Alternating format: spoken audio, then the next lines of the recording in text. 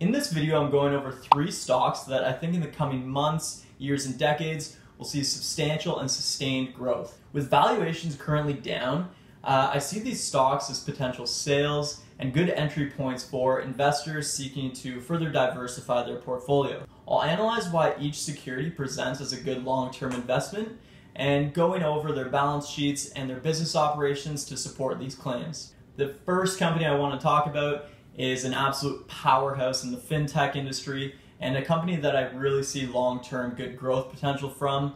Company you're probably already aware with, Square. Square is most recognized for its POS or point of sales in small retailers and storefront merchants. When the health situation took place in mid-March and most storefront retailers were forced online, Square stock took a major hit. The stock dropped over 54% in less than a month. Being perceived as largely tied to the hip with storefront merchants, many investors backed out, uh, fearing little to no income generated from their POS system. I personally think this was an emotional, panicked sell off, and that most investors hadn't priced in Square's other various business ventures. For years, Square has been investing in lesser known side ventures completely unrelated to their POS systems. Square owns Cash App, Square Capital, and they also have an online e-commerce store. Since about mid-March, these three ventures have massively benefited from the health situation and have seen an increased surge in usage. Cash App reported a Q1 earnings increase of 115% year over year, and I can only see this trajectory really continuing. They saw a quick rebound in share price in the following months, almost back to their 2018 high. The stock price has increased over 100% since March lows. Um, so if you got in before that, you're absolutely laughing. But if you haven't gotten in yet, I don't think it's too late for you. Square is uniquely positioned in that it's essentially hedged against itself, um, operating in both spheres to the sale of goods. On one side, they have their Cash App and their e-commerce platform, and on the other side, they have their typical POS system. Square is run by CEO and founder Jack Dorsey, uh, you may have heard of him. He runs a small startup called Twitter. Uh, he was also the CEO and founder of that. Heard of it? I really like Dorsey and I trust his management experience. Um, he's done a fine job running Twitter, I think. I see this company as a really forward thinking, sleek company willing to try new things and invest in low cap fintech startups. So, diving into the balance sheet, uh, we can see that Square has seen a steady increase in total net revenue a 44% year over year increase, and a Q1 gross profit of around 539 million. Uh, this represents a 36% increase year over year. Square did, however, suffer a Q1 net income loss of 106 million, However, as the economy continues to open up, I imagine this will be close to, if not already bottomed out. Square is a large cap company with 39.7 billion in outstanding shares. They have a large 52-week delta with a high of 92.96 and a low of 32.33. And current share price is actually up since the initial crash, uh, hovering around 90. Their forward PE ratio is 133, which is incredibly high, and also a price to earnings growth ratio of 6.31. Its price to book is 21.39, which is also very high, suggesting that the stock may be currently pricey compared to their earnings. Square has a profit margin of about minus 1, a return on equity of minus 3.68%, and a current liabilities to assets ratio of 1.68. You might be thinking that this is a horrible balance sheet, and in many ways it's not the prettiest, but I think with the economy continuing to open up, uh, the increased demand for Square Capital and the Cash App, um, I think Square is actually sitting in a really good place, and I really do see endless growth prospects for Square. Another note is that Square's GPV or gross payment volume has also been increasing as more businesses lean towards curbside pickup and delivery. Square Capital, a loan distributor, a subsidiary of Square, has been aiding businesses in a payment protection program, lending capital to businesses that are in need.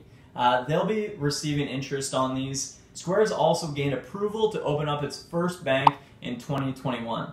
This will essentially cut out the middleman in many of Square's operations. They won't have to rely on banks giving them the loan first, which they then give to businesses. They can act directly. This will improve their profit margins greatly. Square has really been focusing on building momentum within North America, and they're focusing on emerging markets in the future, which they see as potential strongholds. Emerging markets tend to lack pre existing POS systems, and with Square kind of moving in with their all in one, helping businesses out in every sort of way, um, the growth prospects for emerging markets and developed European markets are huge. I really like this company, uh, their diversification within fintech, their management team, their ability to take risks, try new things, and I think it's going to be a really good company for the future. I see this as a powerhouse in the world of fintech.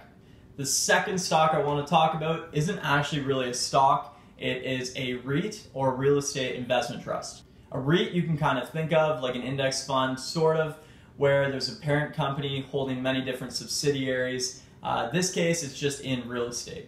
Although REITs in particular have taken a major hit since the lows seen in March, uh, there are exceptions to this. One of my favorite REITs right now is a company called Welltower. And what makes Welltower so special is that it focuses on healthcare infrastructure. I really wish I had filmed this before Friday, which is currently today. Um, they have seen a massive, massive, massive valuation increase today. Um, so it's not too late for it. it. You can see that investor interest is growing.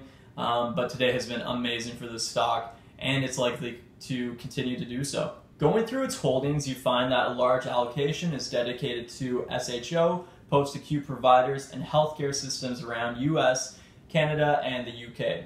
It's currently trading around $58 per share, uh, with a 52-week high of 93 and a low of 24.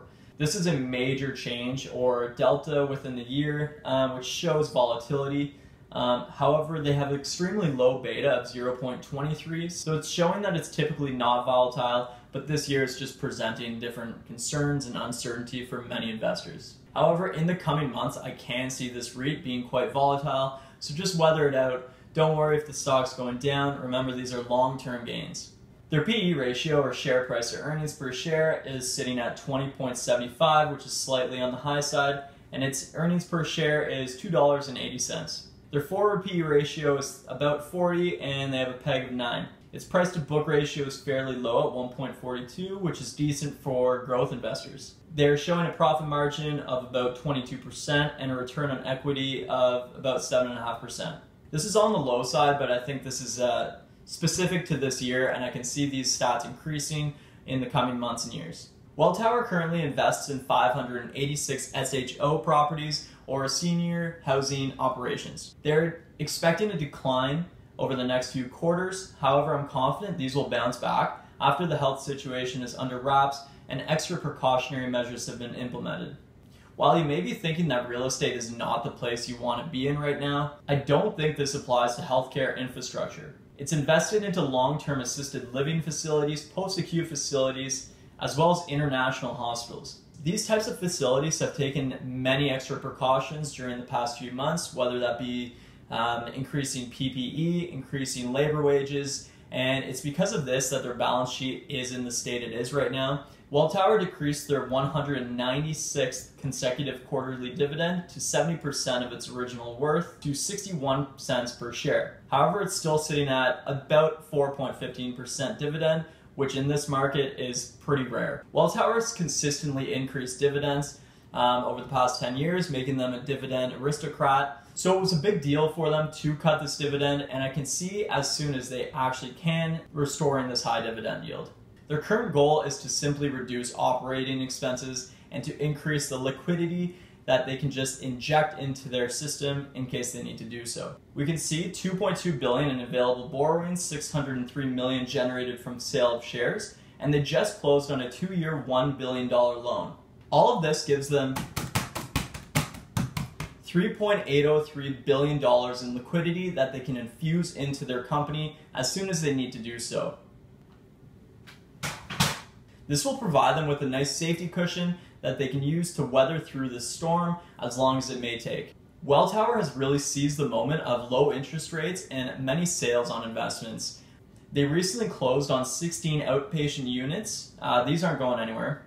They closed on three senior living facilities in Las Vegas, and they just signed a joint venture agreement with Invesco worth 491 million, along with other long-term property deals.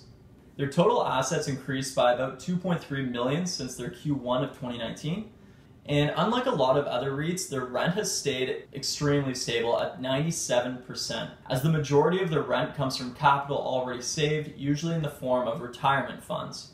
I really like Welltower long term.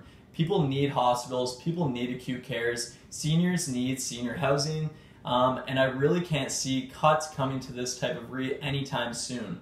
With a rapidly aging population, I can see these only really growing in importance. So if you're looking for a stable REIT with a high dividend yield um, in comparison to many other REITs, I really do see Welltower as kind of a safe haven for your money. Okay, here we go. Number three.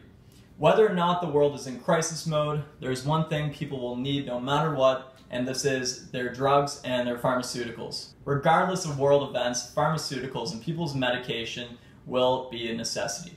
Not only do I think big pharma will remain relatively unscathed in the coming years, um, but I think its importance will increase by the general public and there will be an increased demand for new drugs and new therapies in the coming years and decades. Pfizer remains one of the world's largest big pharma companies. Um, it's almost unfathomable how big they actually are. Their market cap is $200 billion, and they experience extremely low volatility with a beta of 0.65, a 52 week high of 44, and a low of 27. This relatively low delta through the mid March periods that we saw um, shows that big pharma companies are going to be relatively unscathed by this health situation. Their PE ratio is about 12.66, which is fairly average, and they pay out a respectable dividend of 4.22%. Also, dividends are really hard to come by right now, and I think anything above 4 and kind of under 7 is where you want to be. They have an earnings per share of about 2.8 with a forward PE of 12.77. Their PE to growth ratio is 2.72 and their price to book is 3.09, which shows that the price may be somewhat overvalued. They have a great return on equity of 23.7% and their current ratio is 0.90, showing more liabilities relative to assets. Pfizer is extremely diversified. It's it's almost shocking going through their holdings. They they own literally everything medical you could ever imagine glass companies to make beakers and vials, medicines, cancer research, immunotherapies, clinical trials. The list really does just go on. They recently invested 500 million into small and medium-sized biotech companies. These companies are currently working on vaccines in all sectors of medicine, including research into the current health situation.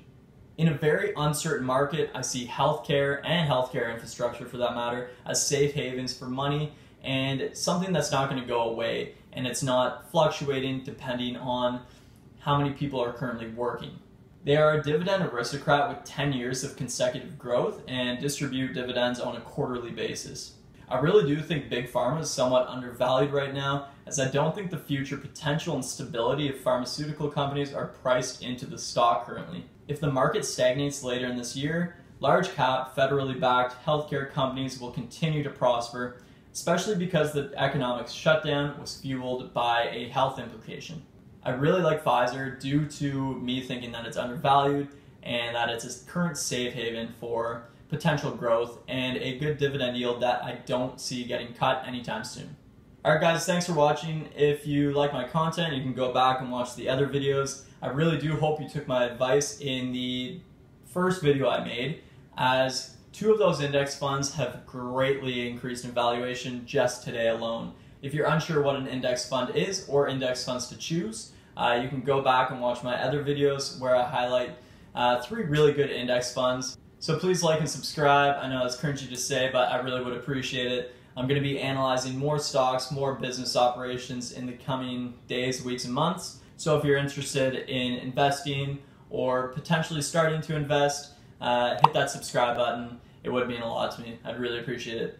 Alright guys, thanks for watching. I do appreciate it. Stay safe and I'll see you next time.